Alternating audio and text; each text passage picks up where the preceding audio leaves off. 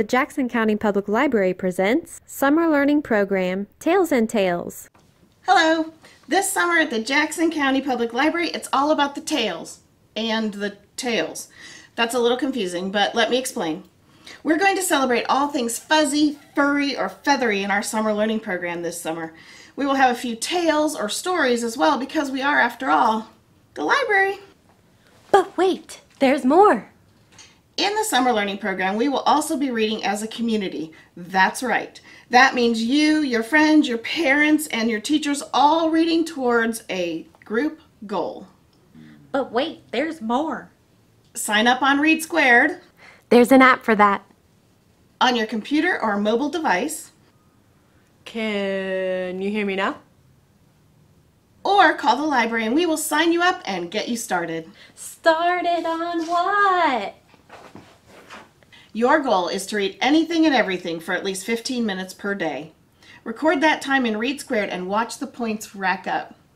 The 15 minutes doesn't have to be all at once. 5 minutes here, 10 minutes there. Just record when you reach 15 total minutes. Of course, you can read longer if you love to read like I do. And me. Books, comics, graphic novels, magazines, newspapers, audiobooks, digital reading, it all counts towards the goal. But wait, there's more. when we, as a community, reach 200,000 points. The library will add a collection of outdoor games that anyone with a valid library card can check out and enjoy. Some can be used at the Freeman Field Recreation area with tables and cornhole boards. Ladder ball, croquet, chess, checkers, cornhole bag. But wait, there's more. When we reach 400,000 points, the library will add Roku and Amazon Fire Sticks for checkout. But wait, there's more. At 600,000 points, the library will add Nintendo Switch, loaded with some games to check out. Could there be anything else?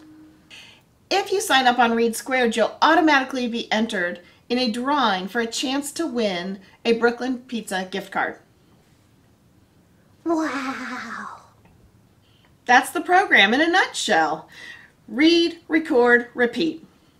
You'll have a handy dandy bookmark with all this information so you'll know exactly what to do. Oh, and be sure to check out our website or program guides to see what programs are going on and where. Some will be in person, some will still be virtual. See you at the library.